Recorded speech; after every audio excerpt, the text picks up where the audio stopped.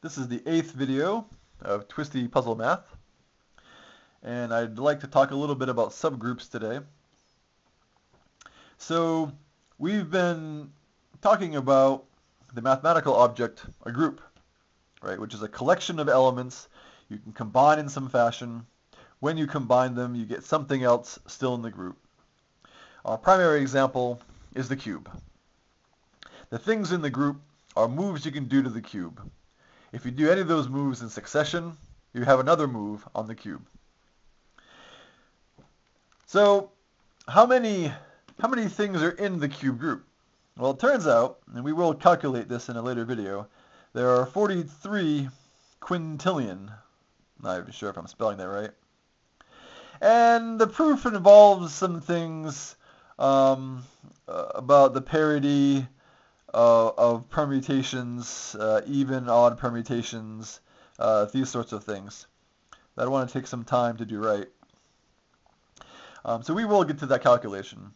But this is a lot. This is a, a ridiculously large number. So how do you sort through all those different permutations to find the moves that you need for the cube?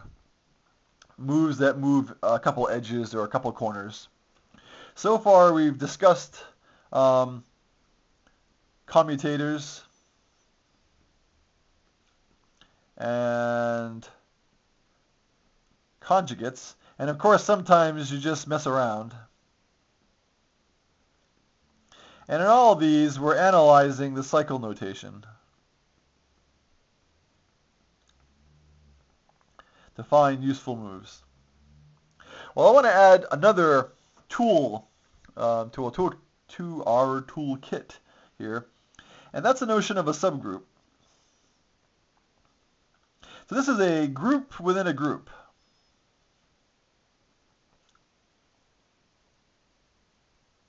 And I want to illustrate it with an example. So consider all the moves generated by r squared and f squared. This is a very small group.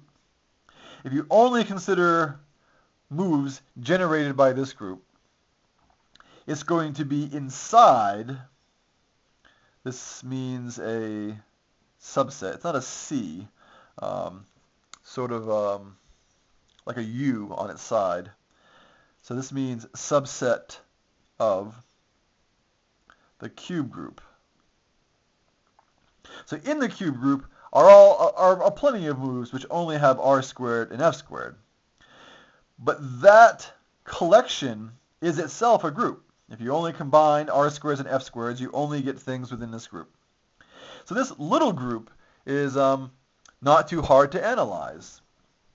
And so you can look at some patterns, right? There's the r squared move. There's an f squared move. You can look at r squared, f squared, and, and you can continue. And it'll turn out I'll let you do this, or perhaps I'll do it in a separate video. It turns out this is not a very complicated group, and you very quickly exhaust the group, and you can characterize the group. So what about a more complicated group? A more complicated group, um, and th there are a number of them, might be this one, which looks very similar. This is a fairly large subgroup, and We'll calculate the size of these groups after we've gone through the process of calculating the size of the cube group. But there's a lot more going on in here. In fact, we've already seen um, one element of this group. We looked at the move FR in an earlier video, and we found out that it has an order of 105, meaning that on the classic Rubik's Cube, that if you do this move 105 times, you get back to the identity. That's a pretty complicated move uh, that's in, in, in this um, particular group. Um, so, so th this is a, a fairly important um, subgroup, actually. There's some useful moves in there. Um, another one is the slice group and also the slice squared group. And what this is is you only consider moving the center layers. So this is um, this move here, you might call it R sub S, the right slice group. There's a move that you might call F sub S, which is the front slice group. and as a move you might call U sub S, which is the up slice group. There, there are different notations for this, um, but this is the one I like to use. And so you can consider um, these moves and what they do. And notice that they don't affect the corners. They only affect edges. So that can be, that can be useful. So the point of these smaller groups is they, they narrow down uh, the goal. They give you something bite-sized to explore. And it might seem overly restrictive, but it's not. When you're solving these puzzles, you ought to be able to get a, a good chunk of it just by spatial intuition, by familiarity with the puzzle. And so you get down to the point where you only need um, fairly restrictive moves anyway. You don't actually need a move which permutes eight corners, um, or maybe all of them, uh, you know, or nine edges. You can do most of that on your own. And so investigating these restricted subgroups um, is more helpful than it might seem at first.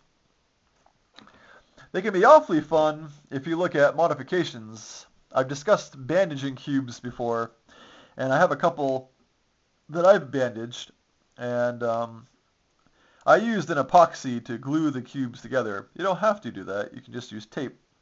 And I've cut out some stickers um, just to practice the idea of modding. Uh, many people use an epoxy clay, uh, like Apoxie Sculpt. Um, I'm hoping to get some of that, but I, I haven't gone there yet.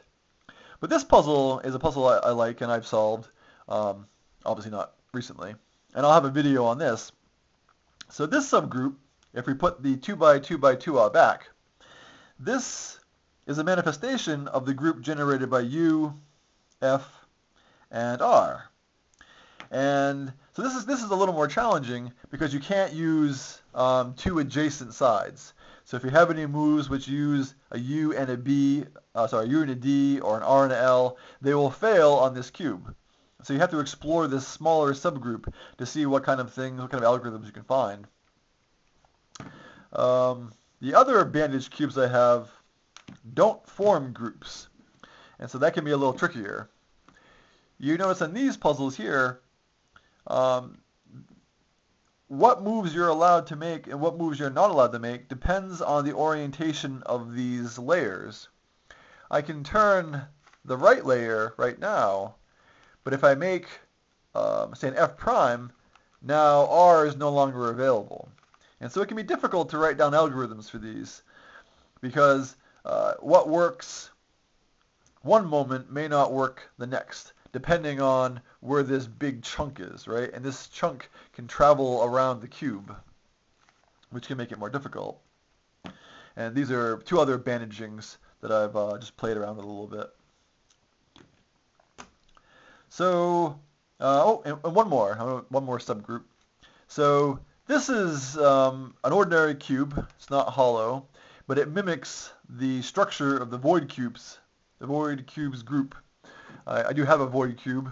Um, it only occurred to me after buying it that I, I could have just played with this puzzle. And even if you buy a void cube, I recommend doing this. It's it's helpful in solving it. There is um, a little twist to the void cube, and I don't know if you can see it in the video, but I scratched in uh, a letter for each color, and it's faint enough that when I have my glasses off, I'm myopic, I can hold this away from my face and I can't see the scratch. And so I solve it as if I'd be solving this cube, not knowing what the colors should actually be. But then when I'm done the puzzle, I can investigate the configuration of the colors. So if I come across some unique endpoint that's unfamiliar to me, I can try to form a hypothesis based on the orientation of these marked centers. Um, so, and, and it's worked. I've, um, I think there's only one case to solve in the void cube, and I have. Um, so we'll, we'll see if that's the case if I find any other ones. But this is the concept of a subgroup, and um, future videos will analyze some subgroups more in depth. I hope this is helpful, and uh, that's it.